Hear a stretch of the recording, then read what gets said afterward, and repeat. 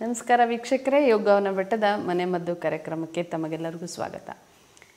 ಇವತ್ತಿನ ಸಂಚಿಕೆಯಲ್ಲಿ ದೇಹಕ್ಕೆ ಮುಖ್ಯವಾಗಿ ಬೇಕಾಗ್ತಕ್ಕಂಥ ಒಂದು ಶಕ್ತಿ ರೋಗ ನಿರೋಧಕ ಶಕ್ತಿ ಹ್ಯುಮಿನಿಟಿ ಪವರ್ ಅಂತ ಹೇಳ್ತೀವಿ. ಈ ರೋಗ ನಿರೋಧಕ ಶಕ್ತಿಯನ್ನು ಕಳ್ಕೊಂಡ್ರೆ ಮನುಷ್ಯ ಏನಾಗ್ತಾನೆ? ಯಾವೆಲ್ಲ ಸಮಸ್ಯೆಗಳನ್ನು ಎದುರಾಗ್ತವೆ? ಹೇಗೆಲ್ಲ ದೈಹಿಕವಾಗಿ ಶಕ್ತಿಹೀನತೆಗೊಳ್ತಾರೆ? ಇದಕ್ಕೆ ಮೂಲ ಕಾರಣಗಳೇನು ಮತ್ತು ಮನೆಮದ್ದುಗಳೇನು ಅನ್ನೋದ್ರ ಬಗ್ಗೆ ವಿಚಾರಗಳನ್ನು ತಿಳ್ಕೊಳ್ಳೋಣ. ಈ ರೋಗ ನಿರೋಧಕ ಶಕ್ತಿ ಅಂತಕ್ಕಂಥದ್ದು ನಮ್ಮ ದೇಹಕ್ಕೆ ಅತಿ ಮುಖ್ಯವಾದಂಥ ಅಂಶ. ಈ ಶಕ್ತಿನ ನಾವು ಕಡಿಮೆ ಮಾಡಿಕೊಂಡಿದ್ದೆ ಆದರೆ ದೇಹದಲ್ಲಿ ಹಲವಾರು ಅನಾರೋಗ್ಯಗಳು ಕಾಡಲಿಕ್ಕೆ ಶುರುವಾಗುತ್ತೆ. ಪದೇ ಪದೇ ಬರೋ ಶೀತ, ನೆಗಡಿ ಇರ್ಬೋದು, ಜ್ವರ ಇರಬಹುದು, ಮತ್ತು ಸಾಕಷ್ಟು ಚರ್ಮ ಅಲರ್ಜಿಗಳಾಗ್ತಕ್ಕಂಥದ್ದು, ಅಜೀರ್ಣ ಸಮಸ್ಯೆಗಳಾಗಬಹುದು, ಸೋಂಕಿನ ಕಾಯಿಲೆಗಳು ಹೆಚ್ಚಾಗಿ ಬರ್ತಕ್ಕಂಥದ್ದು. ಹೀಗೆ ಹಲವಾರು ತೊಂದರೆಗಳನ್ನು ನಾವು ನೋಡ್ತಾ ಹೋಗ್ತೀವಿ. ಹಾಗೆ ರೋಗ ನಿರೋಧಕ ಶಕ್ತಿ ಸಾಕಷ್ಟು ಕಡಿಮೆ ಆಯಿತು ಅಂತ ಹೇಳಿದ್ರೆ ಸಾಮಾನ್ಯವಾಗಿ ನಾವು ಕಿಡ್ನಿ ವೈಫಲ್ಯ ಇರೋರಲ್ಲೂ ಕೂಡ ರೋಗ ನಿರೋಧಕ ಶಕ್ತಿ ಕಡಿಮೆ ಆಗಿರ್ತದೆ. ಮತ್ತು ಕ್ಯಾನ್ಸರ್, ಅರ್ಬುದ ರೋಗಿಗಳಿಗೂ ಕೂಡ ಈ ರೀತಿ ತೊಂದರೆ ಆಗುತ್ತೆ. ಲಿವರ್ನಲ್ಲಿ ಸೋಂಕಿದ್ದವ್ರಿಗೂ ಕೂಡ ಈ ರೀತಿ ತೊಂದರೆ ಇರುತ್ತೆ. ಮತ್ತು ಪ್ಲೀಹದ ಒಂದು ಸಮಸ್ಯೆ ಅಂದರೆ ಸ್ಪ್ಲೀನ್ ಡಿಸಾರ್ಡರ್ ಅಂತ ಹೇಳ್ತೀವಿ. ಈ ರೀತಿ ಸಮಸ್ಯೆಗಳಲ್ಲೂ ಕೂಡ ರೋಗ ನಿರೋಧಕ ಶಕ್ತಿ ಕಡಿಮೆ ಇರ್ತದೆ. ಯಾರಲ್ಲಿ ಈ ರೋಗ ನಿರೋಧಕ ಶಕ್ತಿ ಕಡಿಮೆ ಆಗ್ತದೋ ಅಂಥವರಲ್ಲಿ ಇಂಥ ಸಮಸ್ಯೆಗಳನ್ನು ನಾವು ನೋಡಬೇಕಾಗತ್ತೆ.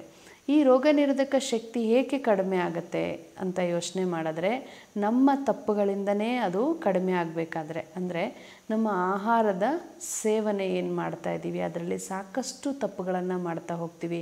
ಅಪೌಷ್ಟಿಕತೆಯನ್ನು ನಾವು ಉಂಟು ಮಾಡ್ಕೊಳ್ತೀವಿ. ಆಹಾರದಲ್ಲಿ ಸಾಕಷ್ಟು ನಾವು ಸೊಪ್ಪು, ತರಕಾರಿಗಳು, ಹಣ್ಣುಗಳು, ಮೊಳಕೆ ಕಾಳುಗಳು, ಹಾಲು, ಮೊಸರು, ತುಪ್ಪ, ಬೆಣ್ಣೆ, ಮಜ್ಜಿಗೆ ಇವುಗಳೆಲ್ಲವನ್ನು ನಾವು ಬಿಡ್ತಾ ಬಂದಿದ್ದೀವಿ.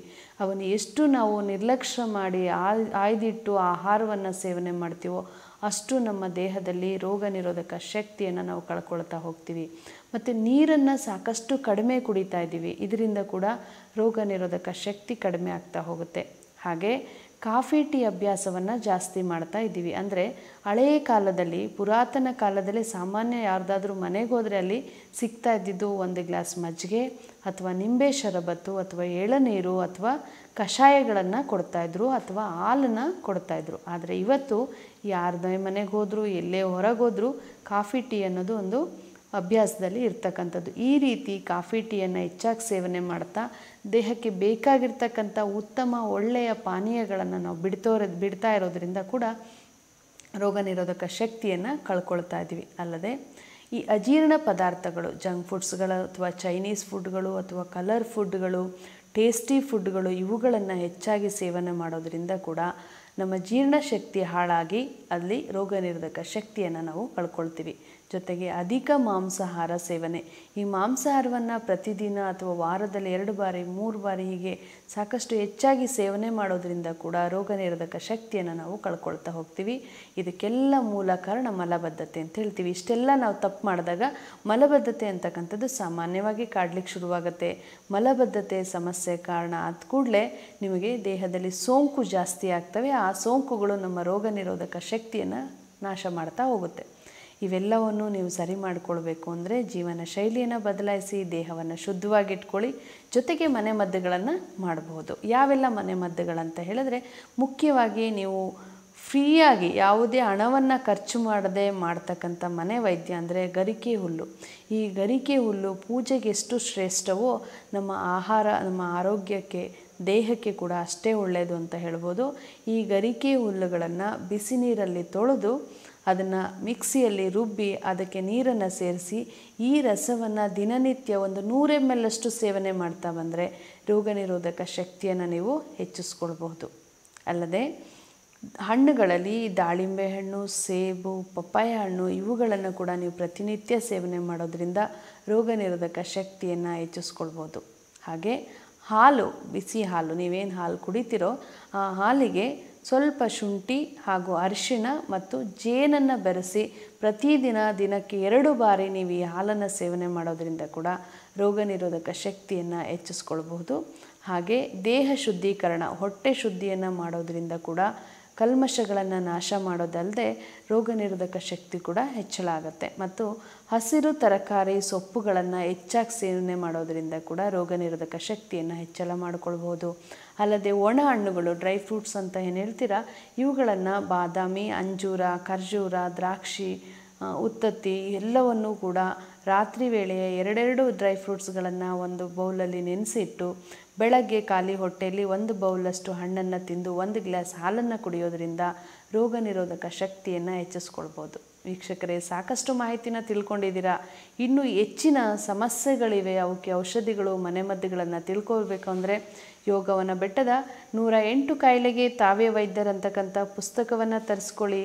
ಪ್ರತಿಯೊಬ್ಬರು ಅದನ್ನು ಅಳವಡಿಸ್ಕೊಳ್ಳಿ ಮನೆಯಲ್ಲಿ ಬಳಸಿ ಯಾವುದೇ ಔಷಧಿ ಮಾತ್ರೆಗಳನ್ನು ಸೇವನೆ ಮಾಡೋ ಅವಶ್ಯಕತೆ ಇಲ್ಲ, ಹಾಸ್ಪಿಟಲ್ಗಳ ಅವಶ್ಯಕತೆ ಇಲ್ಲ. ಸಾಕಷ್ಟು ತಪ್ಪುಗಳಿಗೆ ಮೂಲ ಕಾರಣಗಳನ್ನು ತಿಳ್ಕೊಂಡ್ರೆ ಸಾಕು. ಯಾವುದೇ ಕಾಯಿಲೆಗಳು ನಿಮ್ಮ ಹತ್ರ ಸುಳಿಯೋದಿಲ್ಲ. ಇನ್ನು ದೊಡ್ಡ ದೊಡ್ಡ ಕಾಯಿಲೆಗಳು ಬಂದಾಗಿದೆ. ಎಲ್ಲ ಚಿಕಿತ್ಸೆಗಳನ್ನು ಮಾಡಿಬಿಟ್ಟಿದ್ದೀವಿ ಲಕ್ಷಾಂತರ ರೂಪಾಯಿ ಖರ್ಚು ಮಾಡಿದ್ದೀವಿ ಆಪ್ರೇಷನ್ಗಳಾಗಿದೆ, ಕಿಮೋ ಆಗಿದೆ, ಡಯಾಲಿಸಿಸ್ ಆಗಿದೆ. ಈ ಥರ ಹಲವಾರು ತಪ್ಪುಗಳನ್ನು ನಾವು ಚಿಕಿತ್ಸೆನಲ್ಲೇ ಮಾಡ್ತಾ ಹೋಗ್ತೀವಿ. ಈ ಎಲ್ಲ ಚಿಕಿತ್ಸೆಗಳು ಪಡ್ಕೊಂಡ್ರೂ ಕೂಡ ನಮಗೆ ಯಾವುದೇ ರೀತಿ ಗುಣಮುಖ ಕಾಣ್ತಾ ಇಲ್ಲ, ಕಾಯಿಲೆ ಇನ್ನೂ ಉಲ್ಬಣ ಆಗ್ತದೆ, ಏನು ಮಾಡೋದಪ್ಪ ಅಂತ ನೀವು ಯೋಚನೆ ಮಾಡ್ತಾ ಕೂತಿದ್ರೆ ಇಲ್ಲೂ ಗುಣವಾಗದ ಸಮಸ್ಯೆಗಳಿಗೆ ಯೋಗವನ ಬೆಟ್ಟ. ಎಲ್ಲ ರೀತಿಯ ಅನಾರೋಗ್ಯಕರ ಸಮಸ್ಯೆಗಳನ್ನು ಹೋಗಲಾಡಿಸ್ಲಿಕ್ಕೆ ಪುರಾತನ ವೈದ್ಯ ಪದ್ಧತಿ ಯೋಗವನ ಬೆಟ್ಟದಲ್ಲಿದೆ. ನಿಮ್ಮ ಎಲ್ಲ ಸಮಸ್ಯೆಗಳನ್ನು ಯೋಗವನ ಬೆಟ್ಟದ ಔಷಧಿಗಳ ಮುಖಾಂತರ ಗುಣಪಡಿಸ್ಕೊಳ್ಬಹುದು. ಜೊತೆಗೆ ಯೋಗವನ್ನು ಬೆಟ್ಟ ಬೆಂಗಳೂರು ಕುಣಿಗಲ್ ಚಿತ್ರದುರ್ಗ ಮೂರು ವಿಭಾಗಗಳಲ್ಲೂ ಉತ್ತಮ ನುರಿತ ವೈದ್ಯರೊಂದಿಗೆ, ಉತ್ತಮ ಔಷಧಿಗಳೊಂದಿಗೆ ನಿಮ್ಮೆಲ್ಲರ ಸೇವೆಗೆ ಸದಾ ಸಿದ್ಧವಾಗಿದೆ. ಹಾಗಾಗಿ ಯಾವುದೇ ಸಮಸ್ಯೆಗಳಿದ್ದಲ್ಲಿ ಆಲೋಚನೆ ಮಾಡದೆ ಚಿಕಿತ್ಸೆಯನ್ನು ಪಡ್ಕೊಳ್ಬೋದು, ಗುಣಮುಖವನ್ನು ಕಾಣ್ಬೋದು. ಇನ್ನು ಯೋಗವನ್ನು ಬೆಟ್ಟದ ಚಿಕಿತ್ಸೆಯಿಂದ ಗುಣಮುಖರಾಗಿರ್ತಕ್ಕಂಥ ರೋಗಿಗಳ ಮಾತುಗಳನ್ನು ಒಮ್ಮೆ ಕೇಳೋಣ. ನಮಸ್ಕಾರ. ನಾಗಚಂದನ್ ಎಪಿ ಕೋಲಾರ್. ನನಗೆ ಮೋಷನ್ ಐದು ವರ್ಷದಿಂದ ಆಗ್ತಿರ್ಲಿಲ್ಲ. ಐದು ದಿನಕ್ಕೊಂದ್ಸತಿ ಆಗ್ತಿತ್ತು. ಅದು ಗಟ್ಟಿಯಾಗಿ ಆಗ್ತಿತ್ತು. ಈಗ ಯೋಗವನ ಬೆಟ್ಟದಾಗ ಬಂದು ಮೊ ಔಷಧಿ ತಗೊಂಡಿದ್ದಕ್ಕೆ ಈಗ ನೀಟಾಗಿ ಆಗುತ್ತೆ. ದಿನಕ್ಕೆ ಎರಡು ಸಲ ಹೋಗ್ತೀನಿ. ಒನ್ ಮಂತಿಂದ ತಗೊಂಡಿದ್ದೀನಿ.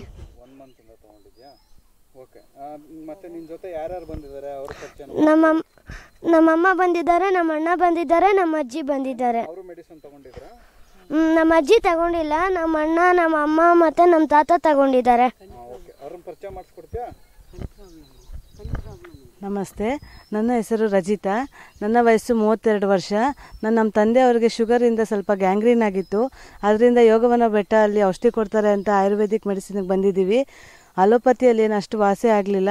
ಇಲ್ಲಿ ಒಂದು ಒಂದು ತಿಂಗಳಿಂದ ಔಷಧಿ ತೊಗೊಳೋದ್ರಿಂದ ಗುಣಮುಖ ಆಗ್ತಾ ಇದೆ. ಮತ್ತು ನಮ್ಮ ಮಕ್ಳಿಗೂ ಅಷ್ಟೇ ಕಣ್ಣಿನ ಸಮಸ್ಯೆ, ತಲೆನೋವು ಸಮಸ್ಯೆ ಮತ್ತು ಮೋಷನ್ ಪ್ರಾಬ್ಲಮ್ ಇತ್ತು.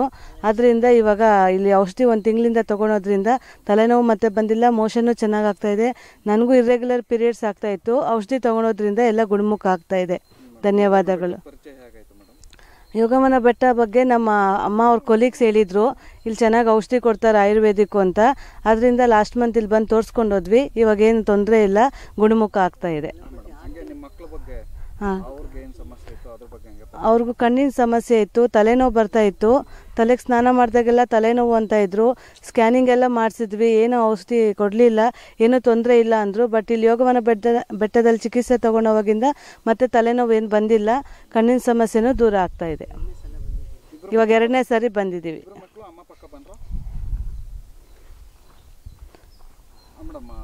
ನಿಮ್ಮ ಪಾಪ ಹೆಸರು ಇಬ್ಬರು ಮಕ್ಕಳ ಹೆಸರು ನಾಗಚಂದನ್ ಅಂತ ಹತ್ತು ವರ್ಷ ಮತ್ತು ನಾಗಕಿಶನ್ ಅಂತ ಹನ್ನೆರಡು ವರ್ಷ.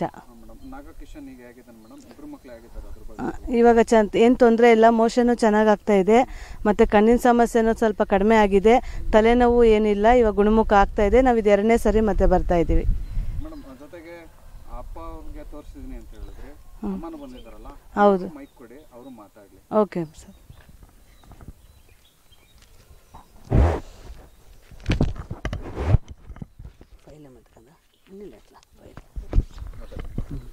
ನನ್ನ ಹೆಸರು ಕೆ ಎ ವಿಶಾಲಾಕ್ಷಮ್ಮ ಅಂತ. ನಾನು ಹೆಲ್ತ್ ಡಿಪಾರ್ಟ್ಮೆಂಟಲ್ಲಿ ವರ್ಕ್ ಮಾಡಿ ರಿಟೈರ್ಡ್ ಆಗಿ ನಾಲ್ಕು ವರ್ಷ ಆಗಿದೆ. ನಮ್ಮ ಯಜಮಾನ್ಗೆ ಶುಗರು ಬಿ ಪಿ ಎಲ್ಲ ಇತ್ತು. ಇದೇ ಗ್ಯಾಂಗ್ರೀನ್ ಥರ ಆಗಿಬಿಟ್ಟು ಹಾಸ್ಪಿಟ್ಲಲ್ಲಿ ಆರು ತಿಂಗಳು ನೋಡ್ಸಿದ್ರು ಏನೂ ಅಷ್ಟೊಂದು ಗುಣಮುಖ ಕಾಣಿಸ್ಲಿಲ್ಲ. ಸುಮ್ಮನೆ ದುಡ್ಡು ಖರ್ಚಾಯಿತು. ಮತ್ತು ಇಲ್ಲಿ ನಮ್ಮ ಕೊಲ್ಲಿಗೊಬ್ಬರು ಮನೆಗೆ ಬಂದು ಅವ್ರು ನೋಡಿದಾಗ ಇಲ್ಲಿ ಯೋಗವನ ಬೆಟ್ಟ ಅಂತಿದೆ, ಅಲ್ಲಿ ಹೋಗಿ ನೋಡಿಸ್ಕೊಳ್ಳಿ. ಬೇಗ ವಾಸಿ ಆಗುತ್ತೆ, ಒಣಗುತ್ತೆ ಗಾಯ ಅಂತಂದರು. ಒಂದು ತಿಂಗಳಿಂದ ಬಂದು ನಾವು ಇಲ್ಲಿ ನೋಡ್ಸ್ಕೊಂಡು ಹೋದ್ವಿ. ಇವಾಗ ಗಾಯ ಗ್ಯಾಂಗ್ರೀನೆಲ್ಲ ಸ್ವಲ್ಪ ಕಮ್ಮಿ ಆಗಿ ಗಾಯನೂ ಒಣಗ್ತಾ ಬಂದಿದೆ, ಶುಗರು ಕಂಟ್ರೋಲ್ ಬಂದಿದೆ. ಇವಾಗ ಮೊದಲಿಗಿಂತ ಇವಾಗ ಆರೋಗ್ಯವಾಗಿ ಕಾಣಿಸ್ತಾ ಇದ್ದಾರೆ ನನ್ನ ಮನಸ್ಸು ಅನ್ನಿಸ್ತಾ ಇದೆ. ಅದಕ್ಕೆ ಇವಾಗ ಎರಡನೇ ಸಾರಿ ಬಂದು ಅವ್ರಿಗೆ ನೋಡಿಸ್ತಾ ಇದ್ದೀವಿ ಮತ್ತೆ ಮೆಡಿಸಿನ್ ಬರ್ಕೊಟ್ಟಿದ್ದಾರೆ, ರಿಪೀಟು. ತಗೊಳ್ಳೋಣ ಅಂತ ಡಿಸೈಡ್ ಮಾಡಿದ್ದೀವಿ. ಇಲ್ಲಿ ಬಂದಾಗಿಂದ ನಮ್ಗೆ ಮನಃಶಾಂತಿ ಎಲ್ಲ ಚೆನ್ನಾಗಿದೆ. ಮನಸ್ಸಿಗೂ ಸ್ವಲ್ಪ ಸಂತೋಷ ಅನ್ನಿಸ್ತಾ ಇದೆ. ಹಾಗಾಗ್ಬಿಟ್ಟು ಇಲ್ಲೇ ಕಂಟಿನ್ಯೂ ಮಾಡೋಣ ಒಂದು ಎರಡು ತಿಂಗಳು ಅಂತ ಡಿಸೈಡ್ ಮಾಡ್ಕೊಂಡಿದ್ದೀವಿ. ಪೂರ್ತಿ ಕೂರಾಗುತ್ತೆ ಅಂತ ನಮ್ಮ ಮನಸ್ಸಿಗೆ ಅನ್ನಿಸ್ತಾ ಇದೆ ಸರ್.